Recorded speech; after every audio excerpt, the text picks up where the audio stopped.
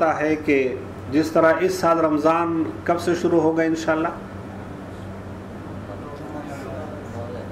دس۔ ٹھیک ہے دس کو یقینی ہے، نو کو شک ہے، لیکن دس کو یقینی ہے۔ نو تاریخ کو کیا کرنا ہے؟ مثلا آپ لوگ اپنے کمرے، اپنے گھر کی صفائی کرتے ہیں یا نہیں؟ کرتے ہیں نا؟ ٹھیک ہے۔ نو تاریخ کو آپ اپنے گھر کی صفائی صرف اس نیت سے کریں کہ آج میرا ایک بہت عظیم مہمان آنے والا ہے۔ صفائی تو ایسی بھی کرتے ہیں آپ۔ کپڑے آپ چینج کرتے ہیں۔ نو تاریخ کو عصر کی نماز کے بعد اچھے کپڑے پہنو، غسل کرو، خوشبو لگاؤ۔ صرف اس نیت سے کہ رمضان کا استقبال ہے اور میرا ایک عظیم مہمان آ رہا ہے۔ اپنے استادوں کو دیکھا ہے اور خود اللہ کے فضل و کرم سے بہت سالوں سے معمود رہا ہے کہ عصر کی نماز شعبان کی آخری نماز ہوتی ہے۔ اور یہ وہ نماز ہے کہ پچھلے سال کے سارے حساب کتاب آپ کو چکانے پڑتے ہیں۔ لہذا شعبان کے آخری دن عصر کی نماز جماعت کے ساتھ پڑھو، مسجد میں پڑھو اور اس کے بعد اللہ کی طرف توجہ کر کے یہ کہو کہ یا اللہ، آج آخری دن ہے اس سال کا، اور جتنے بھی کچھ کمی، کچھ غلطیاں، کچھ گناہ میں نے کیے ہیں، یا اللہ تو اس سے معاف کر دے۔ یا اللہ، میں نہیں چاہتا کہ میں گناہوں کا برا ہوا، رمضان المبارک کے مہینے میں داخل ہو جاؤں۔ اور اللہ جل شاہ کے بارے میں نبی کریم صلی اللہ علیہ وسلم فرماتے ہیں کہ ان اللہ تعالی حی کریم۔ اللہ بہت حیاناک ہے اور کریم ہے۔ یستحی من عبدہ اذا رفع یدیہ الیہ۔ جب ایک بندہ اللہ کے حضور اپنے ہاتھ اٹھاتا ہے دعا کے لیے، تو اللہ کو حیا آتی ہے، شرم آتی ہے کہ ان ہاتھوں کو خالی لوٹائے۔ یہ ممکن نہیں۔ اللہ فرماتے ہیں وہ ادا سا عبادی عنی فعنی قریب اجیب دعوت الداع اذا دعان فل یس تجیبولی ولیؤمنو اے میرے بندو، میں تمہارے بہت قریب ہوں۔ تم صرف آ کر دیکھو تو صحیح۔ تم صرف اٹھا کر، ہاتھ اٹھا کر مانگو تو صحیح۔ تو صرف مطالبہ تو کر۔ پھر دیکھنا کہ میں کتنا کرم کرتا ہوں۔ اللہ جل شاہ توبہ کرنے پہ کتنے خوش ہوتے ہیں۔ رسول اللہ صلی اللہ علیہ وسلم نے ایک مثال دی ہے کہ ایک آدمی جس کے پاس ایک سواری ہے، اس پہ اس کا کھانا پینا ہے، پانی ہے، اور وہ سواری اس سے بھاگ گئی اور یہ بالکل لق و دک صحرا میں تن تنہا اکیلے رہ گیا۔ اب یہ بندہ نہایت پریشانی کے عالم میں ایک جگہ بیٹھ جاتا ہے اور اس کو یقین ہو جاتا ہے کہ اب بھوک اور پیاس سے میں نے مرنا ہی ہے اور تو کچھ نہیں کر سکتا۔ اس لیے کہ نہ سہارا میں پانی ہے، نہ کھانا ہے، نہ میں نکل سکتا ہوں۔ وہ اس سوچ اور اس شش و پنج میں ہے کہ اچانک کیا دیکھتا ہے کہ اس کی سواری اس کے پاس کھڑی ہے۔ تو وہ جلدی سے اٹھ کر اپنے اس سواری کو پکڑتا ہے اور کہتا ہے کہ الحمد شکر ہے یا اللہ، انت عبدی و ان ربک۔ کیا کہتا ہے؟ انت عبدی و انا ربک۔ خوشی سے وہ اتنا اپنے اوسان خطا کر جاتا ہے کہ وہ اللہ سے کہتا ہے کہ شکر ہے یا اللہ، میں تیرا رب ہوں، تو میرا بندہ ہے۔ حالانکہ وہ ایسے نہیں کہنا چاہتا۔ وہ یہ کہتا ہے کہ شکر یا اللہ، میں تیرا بندہ ہوں، تو میرا رب ہے۔ لیکن خوشی سے وہ پھولے نہ سما سکا اور اس نے یہ کہا کہ یا اللہ، انت عبدی و انا ربک۔ حضور فرماتے ہیں کہ یہ بندہ کتنا خوش ہے اس حال میں۔ اگر ایک بندہ توبہ کرتا ہے اللہ کے حضور، تو اللہ اس سے بھی زیادہ خوش ہوتے ہیں۔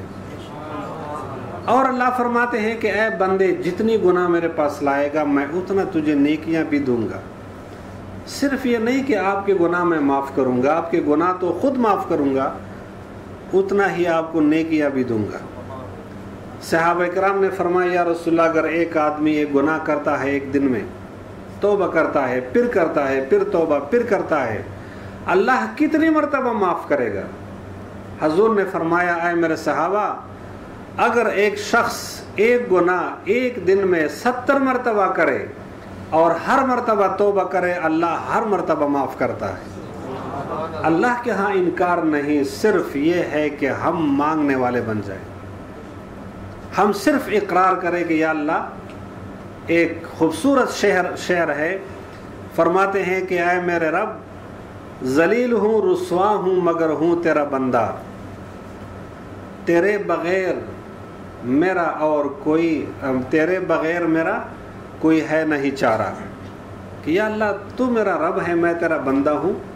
ہارون رشید نے کہا کہ ان العواد بالذم وانت العواد بالمغفرہ۔ یا اللہ، میں بندہ ہوں، میں بار بار گناہ کروں گا، تو بار بار مجھے معاف کرے گا۔ شعبان کے آخری دن کیا کرنا ہے؟ عصر کی نماز پابندی کے ساتھ، یاد رکھ کے جماعت کے ساتھ پڑھو۔ اس کے بعد اللہ کے حضور دعا کرو، یا اگر نماز سے پہلے آتا ہے تو دو رکعت نفل توبہ کرو، اس لیے کہ عصر کی نماز کے بعد پھر نفل نہیں ہوتے، تو عصر سے پہلے کرو۔ اس کے بعد رمضان کی تیاری کرو، اپنے کمرے کی صفائی کرو، اپنے کپڑے پہنو۔ پھر رمضان کے چاند دیکھنے کا اہتمام ہوتا ہے۔ یہاں چونکہ عموماً ہم چاند دوسرے یا تیسرے دن کو دیکھتے ہیں لیکن جب بھی آپ چاند کو دیکھ لیتے ہیں، تو آپ کو پتہ ہے کہ چاند دیکھنے کے بارے میں یا چاند دیکھنے کا کیا سنت عمل ہے؟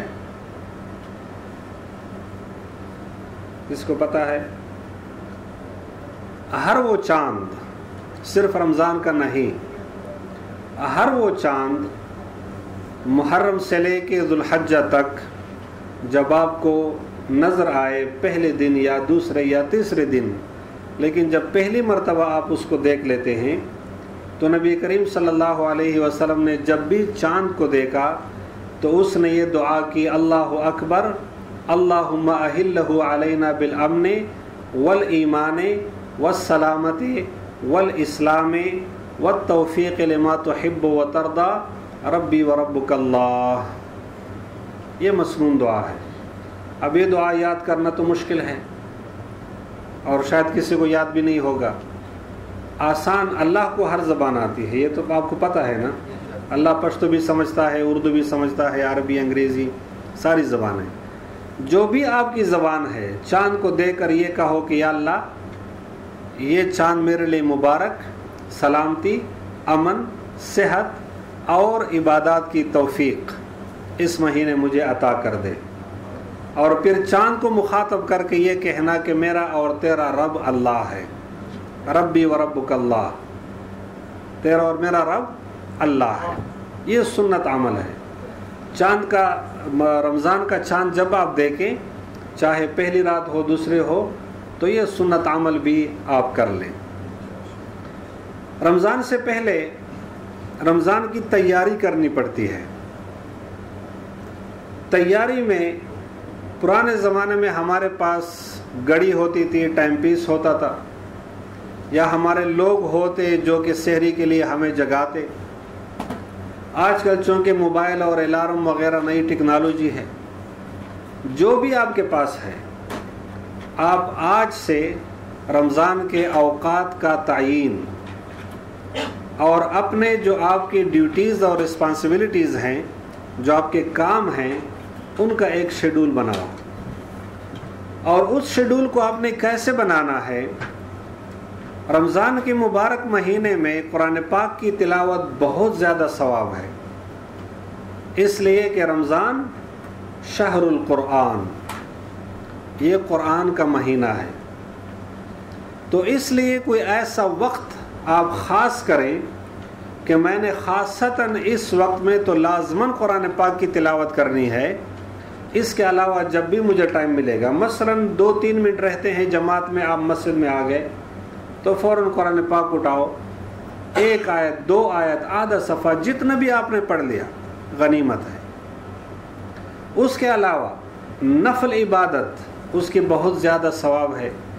لیکن میرا مشورہ یہ ہے کہ نفل کے بجائے اگر کسی کے ذمے فرض نماز قضا ہوں، جوانی میں نہیں پڑھے بلوغت کے بعد نہیں پڑھے، یا بیماری کی حالت میں نہیں پڑھے، یا سفر کی حالت میں نہیں پڑھے، تو رمضان المبارک کا مہینہ غنیمت سمجھ کر جتنا آپ کو وقت ملے اس میں اپنی قضا نمازیں کرو۔ اور قضا نماز بہت آسان ہے، صرف آپ کی جو فرض نماز ہے اس کی قضا ہے اور تین رکعت وطر کی قضا ہے۔ اور نیت بہت آسان ہے۔ فرض کرے آپ عشاء کی نماز پڑھتے ہو روزانہ آپ نے ایک ہی نیت کرنی ہے کہ پہلی عشاء جو مجھ سے قضا ہو گئی وہ پڑھتا ہوں۔ ٹھیک؟ جب آپ نے وہ نماز پڑھ لی، وہ اپنی جگہ پہ پہنچ گئی۔ اب اس کے بعد نمبر پہ جو دوسری نماز ہے وہ پہلی بن گئی۔ تو آپ نے صرف یہ نیت کرنی ہے کہ عشاء کی جو پہلی نماز مجھ سے قضا ہو گئی ہے، وہی میں پڑھ رہا ہوں، بس۔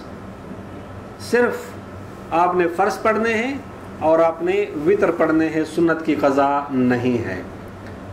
سفر کی حالت میں جو نماز آپ کی قضا ہو گئی ہے، اس کی دو رکعت ہی قضا ہے، اور جو گھر میں نماز قضا ہو گئی ہیں، ان کی چار رکعت کی قضا ہے۔ میرا مشورہ یہ ہے کہ اگر آپ قضا نمازیں کر لیں تو یہ بہت بہتر ہے، بہت اچھی بات ہے۔ اس لیے کہ قضا نمازیں آپ کو حساب دینا پڑے گا۔ رمضان کا مہینہ جب شروع ہوتا ہے تو اپنا وقت، اپنا شیڈول اس کا اہتمام کرو۔ مثلا شہری کے لیے کتنے بجے اٹھنا ہے؟ شہری کا آخری وقت کیا ہے؟ پتہ ہے آپ کو؟ شہری کا آخری وقت۔ کوئی بتا سکتا ہے؟ ہاں یہاں پہ چونکہ فجر کی اذان جو ہوتی ہے، فجر کی اذان ہوتی ہے طلوع فجر کے ساتھ۔ اس لیے فجر کی اذان سے پانچ منٹ پہلے آپ کو کھانا، پینا، نسوار وغیرہ سارا کچھ ختم کرنا ہے۔ صحیح ہے نا؟ اس لیے کہ سب سے خطرناک جو ہوتا ہے، نسوار ہوتا ہے۔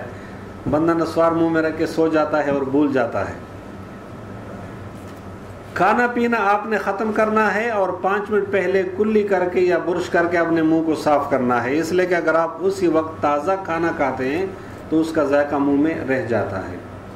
اس لیے شہری کا اہتمام کہ کتنا ٹائم آپ کو چاہیے کہ آپ اس میں اپنا شہری تیار بھی کر سکے اور کھا بھی سکے اور ٹائم آپ کو پتہ ہونا چاہیے فجر کی اذان کا کہ اتنے بجے اذان ہوتی ہے۔ افطاری کا ہمیں پتہ ہوتا ہے، لہٰذا افطاری کے بارے میں پریشان ہونے کی ضرورت نہیں ہے۔ رمضان کے مہینے میں اللہ جل شاہ انسان کے اوقات میں برکت دیتا ہے۔ اور ایمان کی علامت یہ ہے کہ مومن کے رزق میں بھی برکت آ جاتی ہے۔ آپ خود اندازہ لگاؤ کہ جو کھانے یا جو چیزیں ہم رمضان میں کھاتے ہیں، کیا رمضان کے بغیر بھی ہمیں نصیب ہوتی ہیں؟ رمضان میں دسترخوان کتنا سجا ہوتا ہے؟ اور جس کا کھانا یا جس کا دسترخوان رمضان میں عام دنوں سے زیادہ ہوتا ہے، وہ اپنے ایمان پہ شکر ادا کرے۔ اور یہ اس بات کی علامت ہے کہ وہ مومن ہے، وہ صاحب ایمان ہے۔ اس لیے کہ ایمان والوں کا رزق بڑھ جاتا ہے۔ رمضان سے پہلے ایک کام اور بھی بہت ضروری ہے۔ اور وہ یہ ہے کہ رمضان مغفرت کا مہینہ ہے۔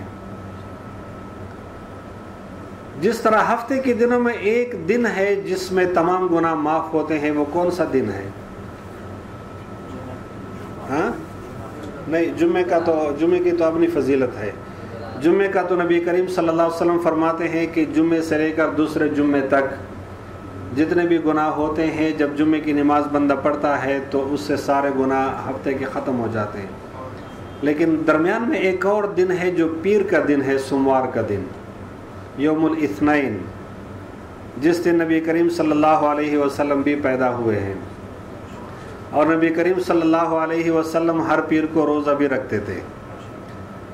رسول صلی اللہ علیہ وسلم فرماتے ہیں کہ ہر پیر کے دن مسلمانوں مسلمانوں کے مومنین کے نام اعمال اللہ کو پیش کیے جاتے ہیں۔ اور جب وہ مومن ہے، نماز پڑھی ہے، وضو کیا ہے وغیرہ، تو جتنے بھی گناہ ہوتے ہیں، سارے گناہ معاف ہو جاتے ہیں۔ منگل کے دن سے پھر حساب کتاب شروع ہو جاتا ہے۔ جمعے کے دن بھی سارے گناہ معاف ہوتے ہیں۔ لیکن دو بندوں کے گناہ وہ معاف نہیں ہوتے۔ وہ پینڈنگ میں پڑے ہوتے ہیں۔ اللہ فرماتے ہیں نہیں ان کے گناہ معاف نہیں ہوں گے۔ وہ کون سے دو لوگ ہیں؟ نہیں مشرق کا مشرق کے تو گناہ معاف نہیں ہوتے نا۔ کون سے دو لوگ ہیں؟ وہ دو لوگ جو آپس میں بات چیت نہیں کرتے جو ایک دوسرے سے ناراض ہیں۔ وہ لوگ جو آپس میں ایک دوسرے سے بات چیت نہیں کرتے، ایک دوسرے سے ناراض ہیں۔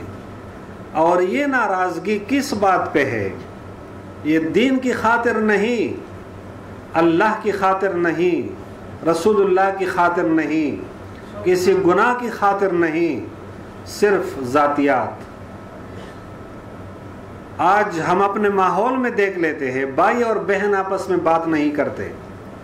بھائی اور بھائی آپس میں بات نہیں کرتے، باپ اور بیٹا آپس میں بات نہیں کرتے۔ دوست، کلیک، پڑوسی، یہ تو دور کی بات ہے۔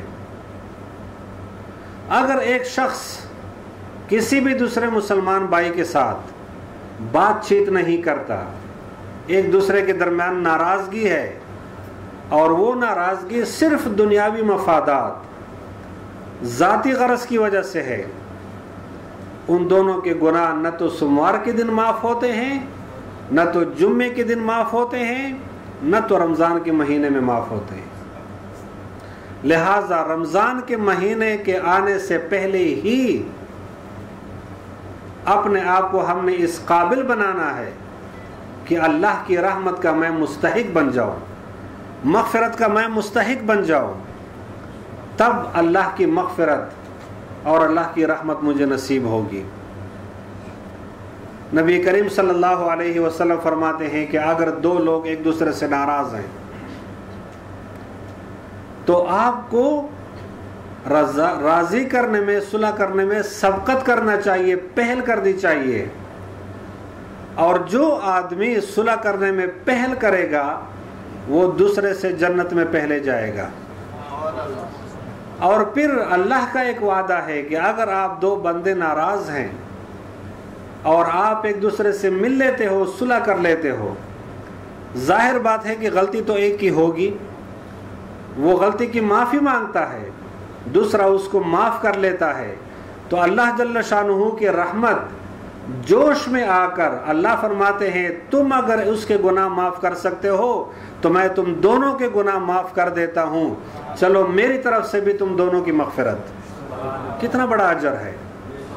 لیکن ہم صرف شیطانی اثر، اپنا ضد، تکبر، غرور، گمن، عجب کی وجہ سے یہ برداشت ہی نہیں کرتے کہ میں کیسے سوری کہوں۔ حضرت حسن اور حضرت حسین آپ جانتے ہیں دونوں کو، یہ دونوں آپس میں ناراض تھے۔ تو حضرت حسن بڑے بھائی تھے، حسین چھوٹے تھے۔ دن گزر گیا، اس لیے کہ ایک دن، دو دن یہ چلتا ہے۔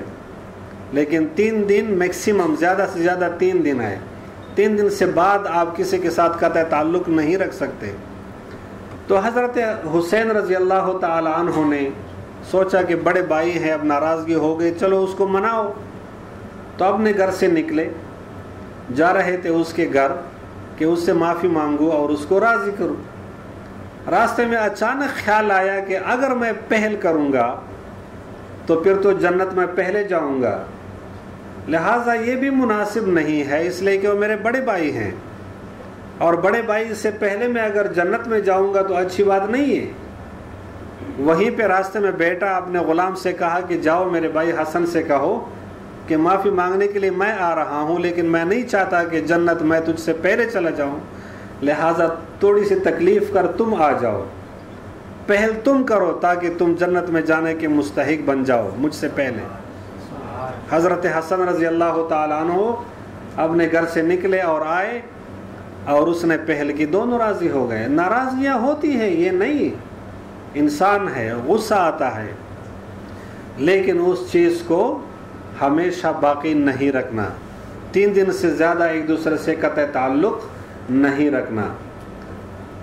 جس کسی کے ساتھ بھی ایسا کیس ہے، اگر کوئی پاکستان میں ہے، آپ کا رشتہ دار ہے، آپ کا اپنا ہے، دوست ہے، جاننے والا تھا، پڑوسی ہے، قطع تعلق ہے، ایک فون کرو اور اس سے کہو کہ رمضان کا مبارک مہینہ آ رہا ہے اور میں نہیں چاہتا کہ ہم دونوں اللہ کی رحمت سے محروم رہیں۔ لہٰذا آئی ایم سوری اور آج کل تو بہت آسان کام ہے۔ کتنی بڑی سے بڑی غلطی کرتے ہو، بس سوری کا ہو، سب کچھ ختم ہو جاتا کہ اس نے سوری کر لیا۔ تو کوئی صرف یہ ہے کہ شیطان اس چیز کو بہت بڑا ایشو ہمارے سامنے بناتا ہے، جبکہ یہ ایشو نہیں ہے۔ لہذا خلاصہ کلام یہ کہ رمضان کے آمد کے لیے اپنے اندر ایک خوشی پیدا کرو کہ شکر ہے یا اللہ، میں زندہ ہوں۔ اللہ بلغنا رمضان۔ یا اللہ، رمضان کا یہ مہینہ مجھے نصیب